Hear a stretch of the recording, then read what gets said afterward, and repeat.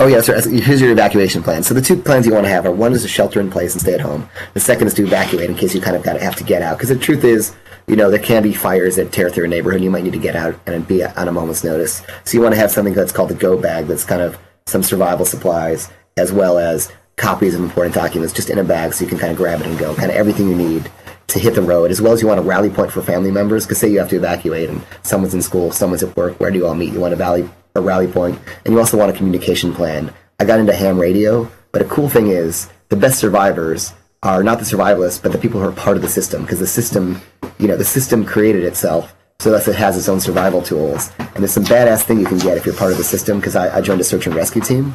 Um, there's a badass thing you can get. It's called the WPS, the Wireless Priority Service. It basically means when all the phones are tied up. And in the last earthquake, for example, in California, nobody was hurt. It wasn't a bad one.